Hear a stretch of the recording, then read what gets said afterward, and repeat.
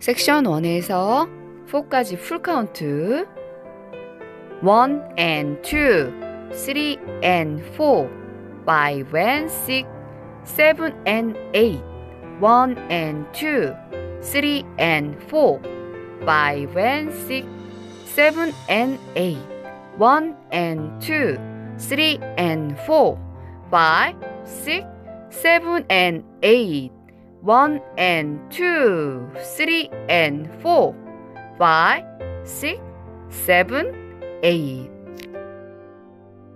섹션 3, 암 액션 있는데요. 왼발 뒤로 가면서 손은 오른쪽으로 향해 주시고 시선은 정면이지만 얼굴은 측면을 보여주세요. 두 손은 클락클락 두 번.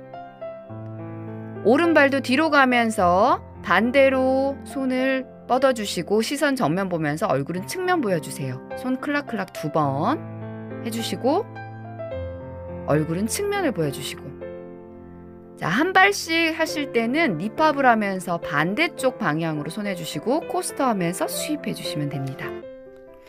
태그는 총 두 번 나옵니다.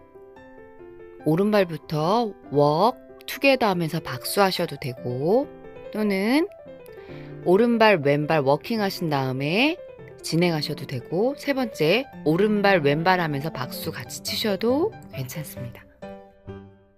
첫 번째 리스타트, 네 번째 월 16카운트입니다. 1 and 2, 3 and 4, 5 and 6, 7 and 8, 1 and 2, 3 and 4, 5 and 6, 7 and 8이에요.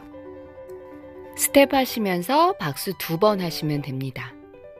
그리고 진행. 두 번째 리스타트 구간은 여덟 번째 월에서 6시에서 시작합니다. 자, 1 and 2, 3 and 4, 5 and 6, 7 and 8, 1 and 2, 3 and 4, 5 and 6, 7 and 8, 1 and 2, 3 and 4, and으로 해서 출발하시면 됩니다. and박을 추가해서 뒤에 박수하신 다음에 뒤로 back, rock, recover 한번 하시고 오른발로 rock, recover 하신 다음에 왼발의 체중을 실은 상태에서 바로 출발하시면 됩니다.